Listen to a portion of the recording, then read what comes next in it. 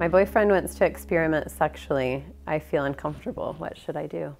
Well, I have an idea. Um, go out and experiment with various machine guns aimed at your head and just see if you pull the trigger if it goes off. Or try different poisons and see if you die from them. Hmm. Uh, I think that when you experiment with sex outside of marriage, it is like playing with a, a, a, gun, playing with a, with a poison, because you are polluting what God created as this beautiful thing. You know, sex is not what we think it is. It's not a, it's not another porn tool. It's not the, the theme of a music video or of a, of a mainstream song.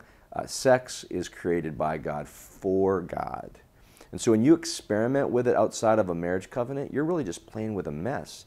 It's going to play with your mind. It's going to play with your body. I'm just going to be very honest here. When you, when your boyfriend, and I'm assuming, I'm reading into this, that your boyfriend is thinking about pornography and the things that he's seen when he looks at porn or what he sees in the mainstream world, you know, you're talking about doing things to your body that you're not comfortable with. I call that rape.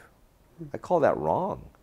And I just think you have to really understand that if you're not comfortable with it, then that's an indicator that you're not supposed to be involved in it. But I would, I would even just jump back and say, don't experiment with anything until you're ready to make a covenant in a marriage relationship when it comes to sex. Well said. Yeah, I, I love that you hit on that she doesn't feel comfortable mm-hmm. because that is God's voice mm-hmm. trying to protect her from going down that path sure. of only caring about what it feels like rather than the parts in our relationship that really matter, yep. that are going to last forever, Absolutely. and that are, are deeper than skin. Mm-hmm.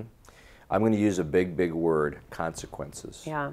I think there's a consequence to making foolish choices like this. And we never, you, you rarely ever see the consequence of a sexual choice mm-hmm. in a movie or in mm-hmm. a TV show or definitely in a song, but they're happening each and every day. We yeah. at Remedy Live chat with girls that have made mistakes sexually and they're devastated. Yeah. And then here's the sad thing they start believing they're nothing more than a mm-hmm. tramp, that they're yeah. nothing more than a sex object, and they live the rest of their life that way. And they never achieve anything big because they believe the fundamental lie that all they are is an experiment. Yeah, so let this be a test, right? Say no to him. Say no. Say I'm not I'm not going to do happens, that. This is my line. That's right. And don't budge and yeah. see how long he stays. Exactly. Right? Yeah. And and that will be the true indicator yeah. of how he feels about you. That's awesome, honey. Good. Good question. If you've got more about that or something else, hit us up at remedylive.com. Just click that live chat with a soul medic right there at the top of the screen.